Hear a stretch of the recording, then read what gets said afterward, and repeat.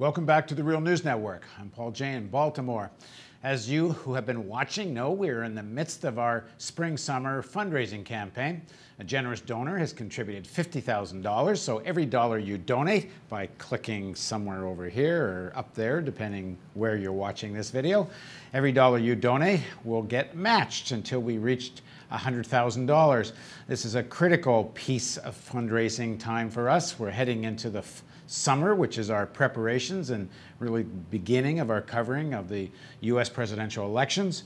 Uh, we're going to be doing more coverage from the Middle East, and we are going to be setting up our new office buildings, the new American headquarters of the Real News in Baltimore, and we're going to show you more of that sometime soon. But of course, if you're watching the re real news, you know one of the most more important fronts of work we work on is reporting from Israel Palestine, and that's Lia Tarachansky, and she now joins us from Tel Aviv. Hi, Lia. Hi, Paul. So, part of this fundraising campaign, and something we're going to do more of afterwards as well, which is we're going to give you viewers a chance to ask some of our guests and some of our journalists questions directly through email and other ways. And so, uh, with no further ado, we're going to go to viewer questions. So, Lia, so here's the first question for you. Uh, although I, I, I, have a sense a little bit what your answer is going to be. But anyway, Linda J writes Are more Israelis joining the solidarity campaign with Palestinians? Also, is the fight against racism towards African immigrants growing? Is the fight against racism growing? Uh, so, uh, what's the mood? Well, actually, the story that I'm working on right now that will be published in the coming days is about how the social justice movement here in Israel that started last July 14th has been trying to avoid the occupation altogether. And as a result, it actually radicalized and activated a lot of Israelis who uh, don't see any kind of end to social, to social injustice without talking about the occupation. So on the 45th anniversary of the occupation last Saturday, um, the, the, the, the, number of people on the streets was about three times what it was uh, at last year's anniversary of the occupation. So that's actually a very positive step in the direction of activating people to talk about um, the, the military uh, control of the Palestinians uh, in occupied territories as well as in Israel. On the other hand, when we're looking at the movement uh, of Israelis in solidarity with Palestinians in the West Bank, uh, with groups such as Solidarity Sheikh Jarrah, the Anarchists Against the Wall, uh, the number of people there is actually not growing. Um, and, and what those activists do is every week uh, for years, they, they travel to uh, West Bank villages, uh, 18 of which are holding weekly demonstrations, and they stand uh, side by side with the Palestinians against the Israeli army forces. Um, and unfortunately, those people are, are the same they have been for years. As for a movement against racism uh, towards the African refugees, uh, we've actually seen this issue explode in the Israeli press in the, uh, in the last month. Uh, and on this Sunday, on the 17th of June, uh, 700 uh, South Sudanese refugees are going to be deported back to South Sudan uh, in the first wave of, of, that deportation. And that was a direct result of a racist movement that started in Israel against the refugees um, that, that, rose out of the poorest communities in the country who saw uh, an opportunity to voice their frustrations at the government's misallocation of funds um, through uh, politicizing the refugees. Uh, the, there's about a population of 60,000 people.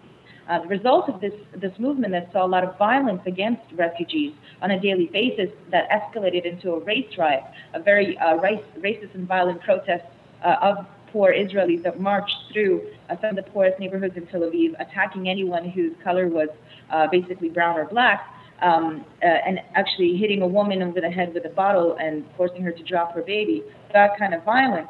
Uh, that has also uh, saw a resistance with Israeli activists coming out in solidarity with the refugees. Um, and now we're seeing people coming out uh, in big numbers to walk refugee children home from schools so that they uh, can get home safe.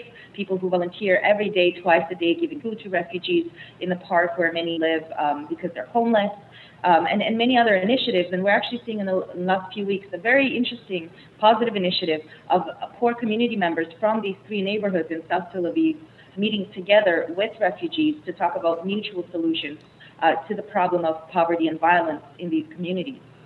Now, the, the, the Peace Now protest of the past used to have you know, considerable numbers Uh, it waned for a time, and then, and then I, I think in the last year there was sort of some signs of it coming back again. Uh, you know, in, in, terms of a broader movement demanding a resolution, a fair, just resolution with the Palestinian end to occupation, what, what, can you get any sense what percentage of Israeli society would sort of fall into that category of people who want that? Well, in, in an interview that you actually did two years ago with Michel Warshawski in Jerusalem, he documented how the Peace Now inspired movement in Israel basically collapsed within one week in October 2000. Uh, when the Israeli prime minister at that time, Ehud Barak, declared that we have no partner, sort of smashing whatever hopes for peace were left over from the Oslo Agreement. Today, the Israeli public has been so uh, depoliticized by the Second Intifada and by, uh, you know, the, the Israeli press and the total lack of uh, the occupation in our consciousness and in the Israeli um, discourse that there's very little uh, actual involvement of Israelis in, in, in any kind of uh, ending or activism to end occupation. And actually, the, the, the Israeli broadcast agency recently did a survey, and they found that uh, they, basically took 19 weeks of primetime news and documented how much of the primetime news uh, you saw Palestinian or Arab people on uh, on TV, and they found that it was less than 0.2% of the time. So the, the, the Palestinian voice that, and the Arabic people are just absent from the Israeli um, discourse, let alone um, the activism and, and, and a movement towards the end of the occupation. And what percentage of Israel are Palestinians with Israeli citizenship? 22%. So we have 22% of the population getting, what was it, less than 2% of some kind less, of Less than 0.2 percent of prime time. Okay, we'll move on to uh, another viewer question. Um, it's a little bit of a switch of topic. When and how will the world's best kept secret that Israel has and is capable of using a nuclear, nuclear weapons see the light of day? Denying it makes the world's attempt to stop Iran's nuclear program disingenuous and hypocritical at best. I mean, I, I guess well, let me just ask you the question they asked, but also, I mean, do Israelis really consider that still a secret? No. And is it is it a matter of any debate at all in Israel that that how can you uh, you know how the sort of hypocrisy or double standard of demanding Iran can't even enrich nuclear weapons, but it's okay for Israel to have nuclear weapons. I should say Iran can't even enrich uranium well, Israel can have nuclear weapons. Uh, does anyone reflect on the double standard of that?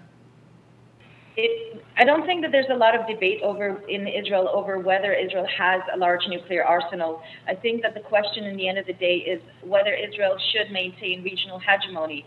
Um, and, and I think that without a doubt, Israelis agree that yes, it should. Um, this is coupled with the fact that the Iranian regime is presented in Israel uh, as irrational uh, and anti Semitic. Uh, and there's a lot of fear that is constantly fed into the Israeli public about what will happen if Iran was to ever get any access to nuclear weapons. Um, and I think that there's no doubt in the Israeli mainstream that the first thing Iran would do is attack Israel. Meanwhile, Iran has been denying that it's been uh, enriching uranium for, for weapons purposes, let alone that it would ever attack Israel. Um, so, in terms of geopolitical uh, powers, the, the debate eventually distills into does Israel have the right to maintain regional hegemony, both in terms of nuclear control and in terms of who it funds and who it sells weapons to? And I think that in Israel, the Israeli mainstream, there's without a doubt uh, a, a, sort of uh, agreement with Israel's hegemony in the region. Any strength that Iran gains as a regional power is seen as a threat to that and a threat to American hegemony in the Middle East and, and Central Asia. The uh the, one of the reports you did, uh, several of the former security analysts, and I shouldn't say analysts, actual leaders of some of the security organizations, uh, intelligence agencies in Israel, uh, said quite straightforwardly that, that Iran is a rational actor. They will do what's in their interest. And, and, and you know, not to kind of get misled or, or, or give too much weight to some of the inflammatory rhetoric from Ahmadinejad. Uh, does that penetrate the Israeli public opinion? When does the media you know, report on that? Does it, does it get through to people? Yes, actually, every time that uh, an Israeli security official, for example, the heads of the four main intelligence agencies, the, the external uh, Mossad, the internal Shabak, Army and Army intelligence, uh, all of the four uh, intelligence agencies, their leaders and predecessors have come out against an attack on Iran um, and against the presentation of the Iranian regime as irrational. Um, and all of that is reported in the Israeli press. Um, at the same time, these people are very uh, viciously attacked by the regime, by the Israeli government, uh, for being traitors and for speaking up against uh, the government. And, and I think that that discourse eventually drowns out the legitimacy of what they're actually saying. For example, when Yuval Diskin, the former head of the Shabak, came out saying that Iran is, an, is, is a rational regime and that attacking Iran would only speed up its attempts to build a weapon, a nuclear weapon, um, he was attacked as a traitor, as disloyal, um, and, and he, the, the attacks on him was so loud that it completely drowned out what he was actually saying. Interestingly, in the same time that he said that in the same speech, he also spoke about the Israeli occupation and how Israel, for its own benefit, must end the Israeli occupation of the Palestinian territories. And that was almost completely ignored by the media. Okay, we're going to continue asking Lia viewer questions and following segments of this series of interviews with her. So please keep looking for the next piece of this. But don't forget, this is part of our fundraising campaign, the Spring Summer Matching Grant Campaign, $50,000 grant it, we can take advantage of if you donate now. So we need you to click that so we can do this. Thanks for joining us on the Real News Network.